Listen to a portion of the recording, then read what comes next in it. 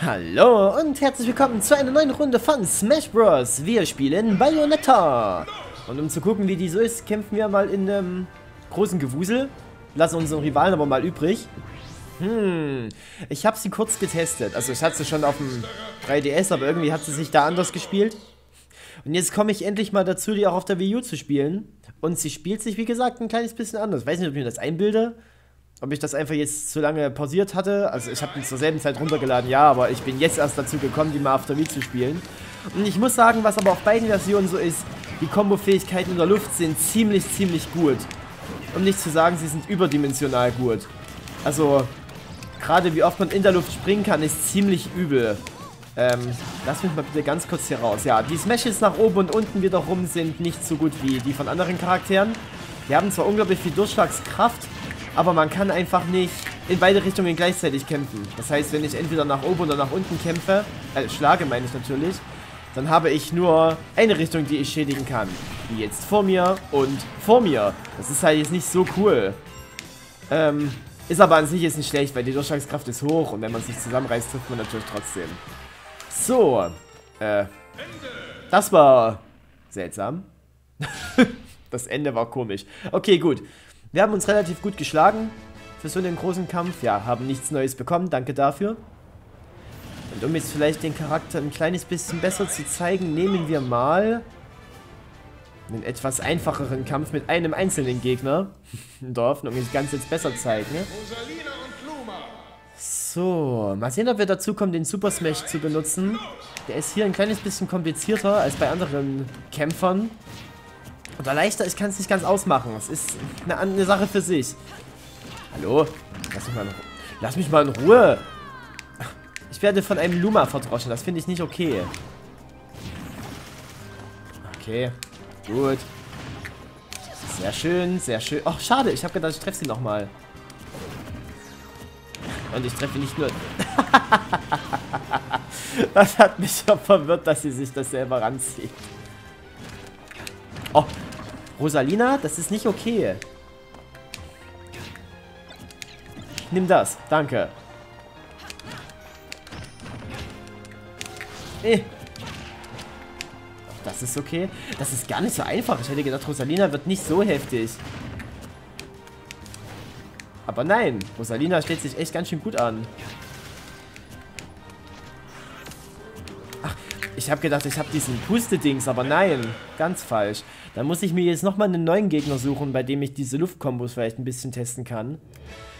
Hm, vielleicht sollte man nicht nur im Üben-Modus testen, wo die Charaktere still stehen und mehr oder weniger still runterfallen.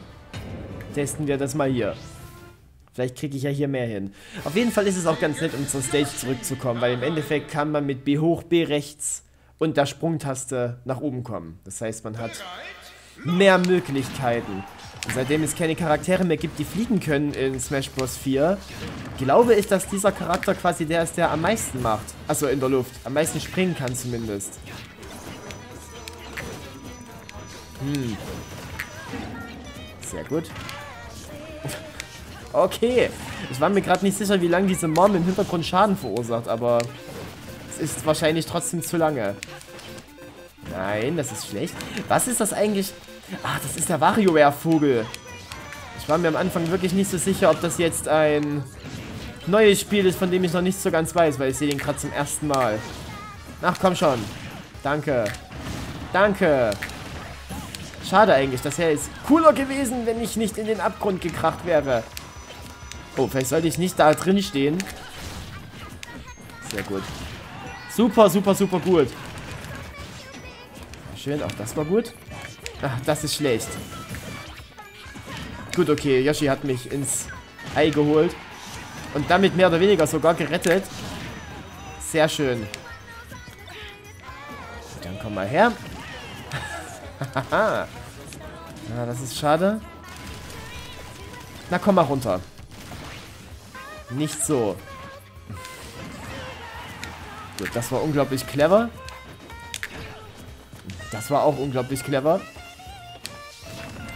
Ich liebe übrigens das Lied im Hintergrund. Wir haben es immer noch nicht geschafft, im Endeffekt ähm, die Luftkombos mal zu zeigen. Das ist schade, aber im Endeffekt sind mir die Siege erstmal wichtiger.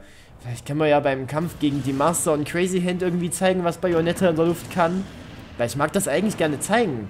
ist echt cool. Probieren wir es mal hier. Vielleicht haben wir da irgendwas, was in der Luft bleibt. Uh.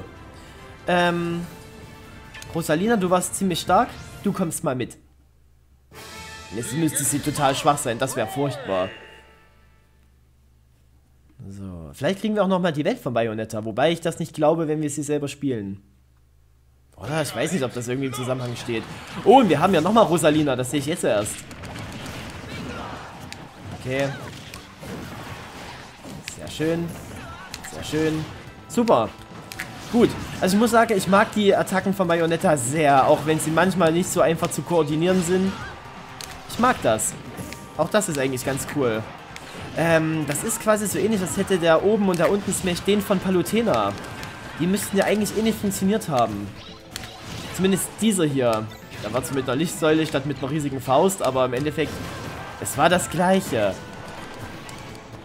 Das war nicht das, was ich wollte. Das war auch nicht das, was ich wollte. Ich springe hier zwei Sterne rum. Das ist blöd. Na gut, okay. Jetzt ist es ein Stern weniger geworden. Hm, bam. Oh, Pingu. Geh mal bitte nach draußen. Moment, wir schaffen das jetzt mit dieser blöden Luftkombo. Wollte ich ursprünglich sagen. Hm, das war's nicht. Aber ja, man kann halt relativ gut springen. Ich würde das nur gerne mal mit Angriffen zeigen. Jawohl, so ist das doch schon viel besser. Wir kommen trotzdem total bequem zurück. Das war jetzt zwar eine Einschlag-Kombo in dem Sinne, aber... Ach, man weiß ja nie. okay, gut, wir haben noch einen Kampf von Timmy. Das ist ziemlich nett.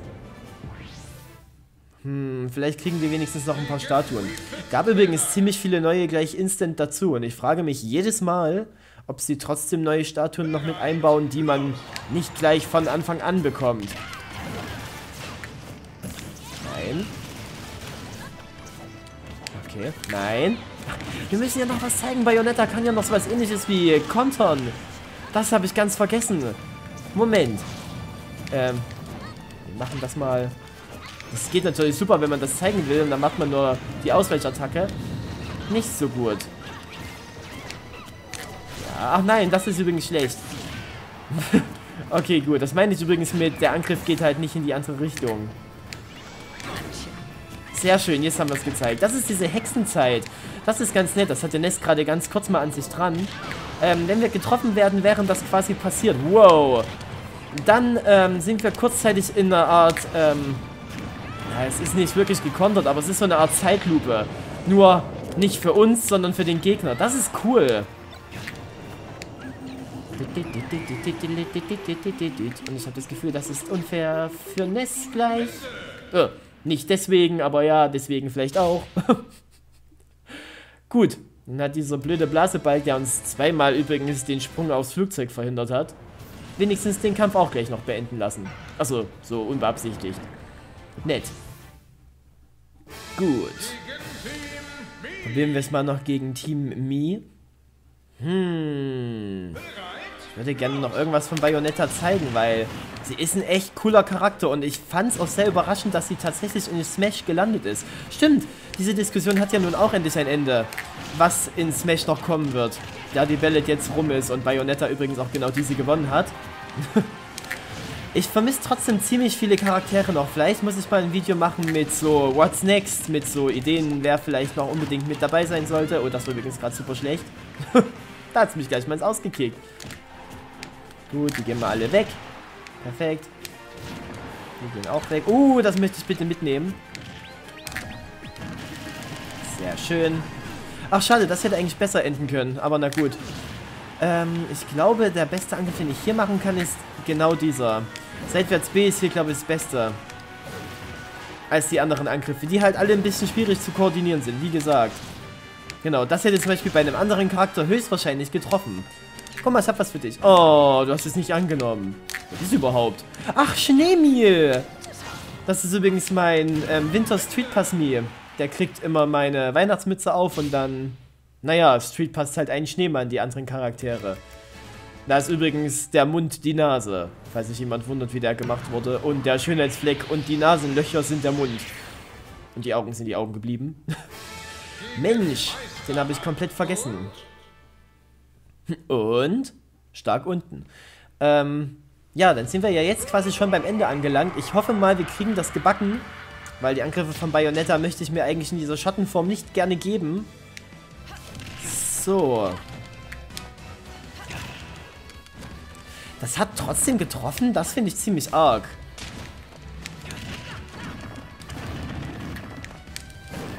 Hm. Nein, nein, nein. Äh, lass mich wieder raus. Danke. Oh, das war knapper als erwartet. Das muss auch eigentlich überhaupt nicht sein. Oh Mist. Ja, ich muss hier weg. Oh Gott. Schön. Gut. Das hat jetzt schon viel zu viel Ärger gemacht. 25% ist zwar nicht viel, aber eigentlich sind 25% halt schon 25 zu viel, weil wir kämpfen halt hier gegen blöde Viecher. Ich frage mich gerade, können wir das Ding in die Hexenzeit kriegen? Ich glaube fast nicht. Okay. Ah. Nein, das war blöd. Ah, ich wollte eigentlich noch was Cooles machen. Aber es war zu langsam. Gut. Ich glaube auch, wir müssen hier echt jedes Mal auf diese Schildfunktion zurückgreifen, wenn wir mit anderen Charakteren hier kämpfen. Denn wir dürfen nicht vergessen, dass wir dummerweise immer noch mit sowas wie Kirby den Modus spielen müssen. Und da habe ich ehrlich gesagt ein kleines bisschen Angst davor. Gut. Das habe ich super gemacht. Man kann tatsächlich beim Kampf am Ende zeigen, dass Bayonetta tatsächlich in der Luft kämpfen kann. Gut, perfekt. Also, eigentlich ist das ja ziemlich blöd, äh, so zu dodgen, aber... Ah, und vor allem könnte das halt ziemlich viel Probleme machen. Oh nein, das war schlecht. Oh mein Gott, das hätte ich nicht gedacht, dass ich das noch überlebe.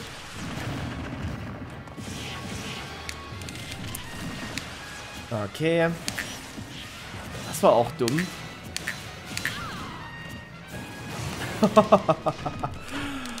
oh mein Gott. Oh, das, das hätte ich nicht gedacht, dass wir mit beiden Leben bis zum Ende kommen. Krass. So, dann geh gleich mal weg. Super. Mega gut. Ah, oh, ich liebe es. Nein, das war schlecht. Das war wiederum echt gut. So, versuchen wir mal das Zurückkommen ein bisschen scheiße zu machen. das ist cool. Ich meine, das ist bestimmt nicht so gedacht, aber das hat perfekt geklappt. Ah, schön. Sehr schön. Ich das mal eher gewusst. Das hätte mir bestimmt bei der 9 mehr geholfen als bei der 6.1. Ah, okay. So funktioniert das also nicht. Und bam. Und ich würde sagen, wir zerstampfen das Ding. Das hat natürlich super geklappt. Dann hauen wir es mit einer großen Faust äh, nach oben. Schön. Ja, Bayonetta spielt sich verdammt cool. Das ist echt ein Charakter, den ich sehr mag. Hat sogar, glaube ich, jetzt schon Cloud abgelöst, obwohl ich den ja dem letztes als Lieblingscharakter empfunden habe. Aber mal gucken, was noch passiert. Man weiß ja nie. Ich würde sagen, wir erlaben uns jetzt erstmal an der wunderschönen Bayonetta-Figur. Die jetzt übrigens das neue Design hat. Ich habe quasi das Alternativmodell genommen, was aussieht wie die alte Bayonetta. Und die neue Bayonetta ist jetzt das Standardmodell. Das ist ein bisschen konfus gewesen irgendwie am Anfang. Aber naja, okay. Und wir sehen uns dann beim nächsten Mal. Und bis dahin, euer Elik. Wir spielen übrigens das Korren. Bye!